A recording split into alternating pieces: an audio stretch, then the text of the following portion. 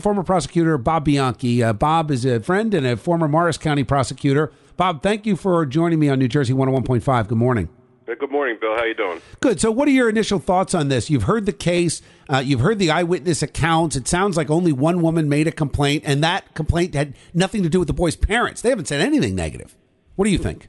Yeah, I mean, I think that um, you know we have to use the rule of reason when we're enforcing these gun laws. So you have to go back. Uh, I was in the Prosecutors Association when we actually passed a very, very draconian and hard gun law, which made sense at the time, which has mandatory state prison sentence, mandatory for anyone who is charged with pointing a weapon at the direction of or in possession illegally of a weapon, carrying prison terms of mandatory 18 months to up to 10 years, no exceptions the rules and regulations are very, very harsh. Now, that's great when you're dealing with drug dealers and gang guys. Right. The problem that we've seen and we were concerned about, and I was very vocal about, was are we going to start extending this now to people who may be coming into the state not knowing the laws, who are otherwise law abiding citizens, or cases like this where the person is not a, of the criminal element, may have done something stupid or not? We just don't know right now at this point. But is this the kind of uh, charge that you want to put somebody in jail for 18 months who's otherwise a law abiding abiding citizen who may have done something. Well, and not only that, Bob, what about Civil War reenactors? Are they not pointing Civil War restored era weapons at each other?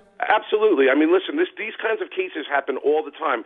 You have police officers that are involved in situations like this, lawful citizens, uh, Civil War people, like you're saying, that are reenacting things. You have to use, when you're a prosecutor, the rule of reason when you're employing these laws. We have become a society that has a, just an incarceration mentality, charge people and, you know, go to the wall with all of these cases. And we need to bring in a little bit of reason, mercy, and compassion. Now, that said, Bill, we have to be careful when we're critiquing the prosecutor. Uh, the Bergen County prosecutor, he's very reasonable. Now, the case comes into your office. I know this firsthand myself, and it may appear to be one thing. You don't have all the facts. You're continuing doing your investigation. Facts are coming out more and more now from the defense. And the prosecutor will evaluate all of this, and hopefully he will contact the attorney general and ask, can I bypass these draconian drug laws because this priest, while he may have done something stupid, maybe he didn't, we don't know, certainly isn't the kind of person we should be putting in prison. And I have confidence that John Molinelli will do exactly that. All right. Well, Bob, I, that's an interesting perspective. I can't help but draw the contrast that, you know, when I hear the parents have no issue, that the kid was laughing, uh, to me, it seems cut and dry, very obvious. And then I contrast that with Leonte Carroo, the Rutgers wide receiver, who the judge dropped the case. And it's the, the case against him was dropped because the victim said, I'm not pressing charges. I'm not moving forward. I want to drop the restraining order. That was enough. So if the kid and the family say, wait a minute, this was a joke, uh, why would the prosecutor continue if that were the case?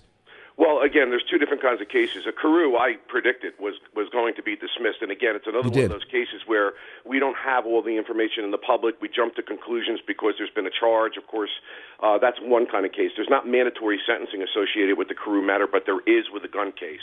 And and of course, the Carroo case took a little time to work out.